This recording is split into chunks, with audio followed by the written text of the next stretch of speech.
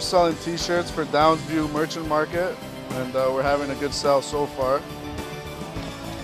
We have a good turnout here. Uh, we're having a great time. We're selling a lot of t-shirts and hopefully we sell more.